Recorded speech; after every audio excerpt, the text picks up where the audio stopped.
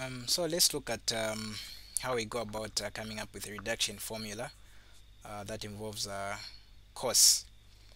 Okay, that involves cosine.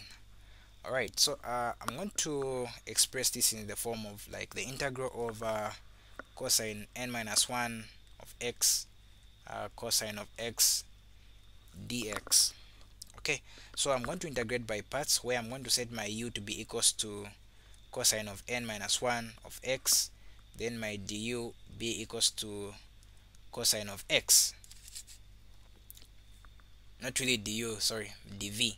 So meaning our du will be equals to n minus 1 then the the derivative of that one is minus sine minus sine of x okay?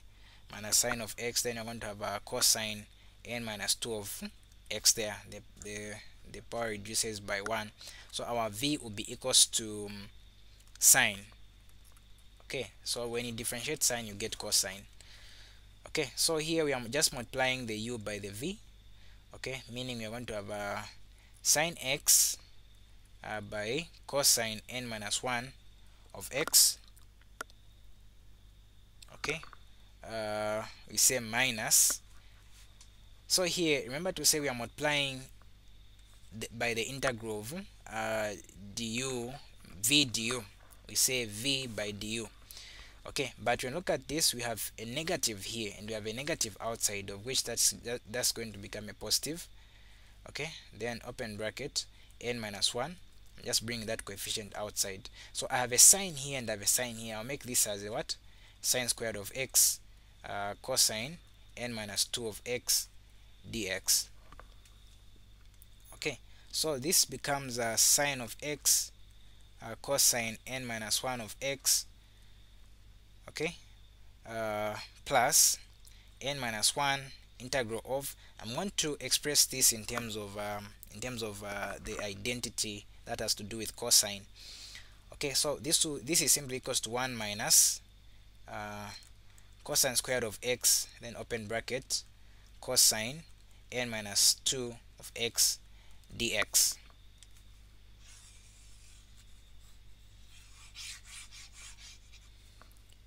Okay so now we can say that is uh, equals to um, sine sine x cosine n minus 1 of x plus uh, n minus 1 integral of we distribute we're going to have a cosine n minus 2 of x then minus. So we have a 2 here positive then negative that becomes a 0 so we have minus uh, cos n of x of course dx there. So uh, what are we able to do?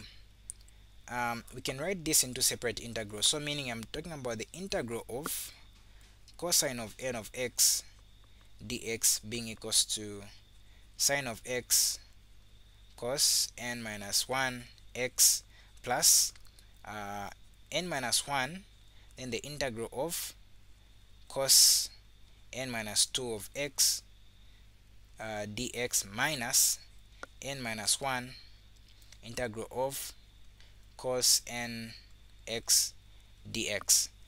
Okay so um, here we can correct the like terms because this part is alike with that one.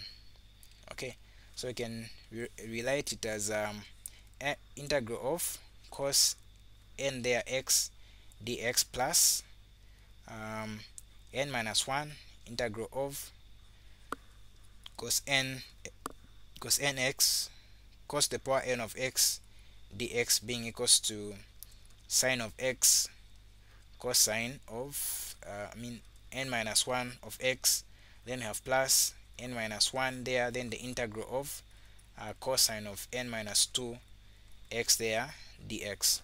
So here we can say we can factor out that we're going to remain with um, the integral of uh, cosine cosine n of x dx open bracket 1 minus in fact 1 plus n minus 1 of which that's just going to be n because 1 minus 1 that would be a 0 so we just have n there so just place it here. That will be equals to whatever that you have there. Okay.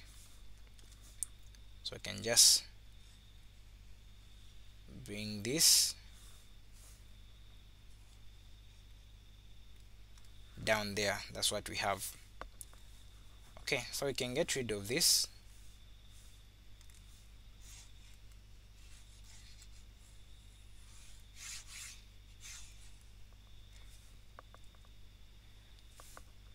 so moving this um, moving this up.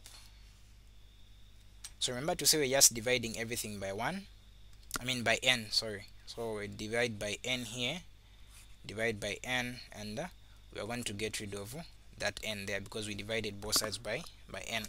And um, this uh, is simply how we come up with um, the reduction formula that requires um, I mean that has to do with uh, a function um, a trig function cosine to the power n of x uh, dx. Thank you very much for watching